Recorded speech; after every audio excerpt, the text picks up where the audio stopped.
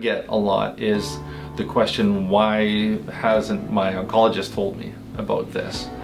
And the idea is that it's just not within the realm of, of their thinking, right? To, to actually use here um, a medicine that's so effective and can be so complementary sometimes to the aspects of chemo, uh, radiation, help with side effects, and also surgery, recovery before and after.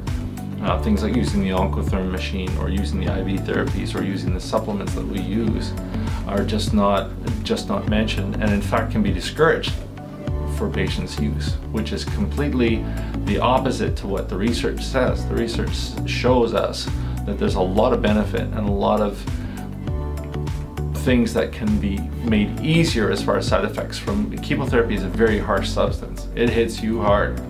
Um, things like 5-fluorouracil, which is commonly used for, for intestinal cancers or stomach cancer. Um, that one plays a lot on the nausea.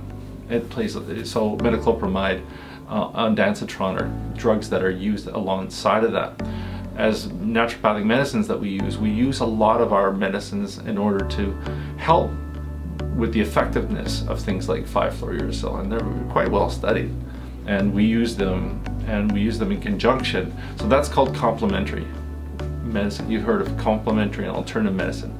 Complementary medicine is something that fits in with the with the with the drug protocols, and and the chemotherapy is uh, is a strong strong drug that creates all kinds of of very severe um, side effects that can be eased with our complementary approach to, to treating that.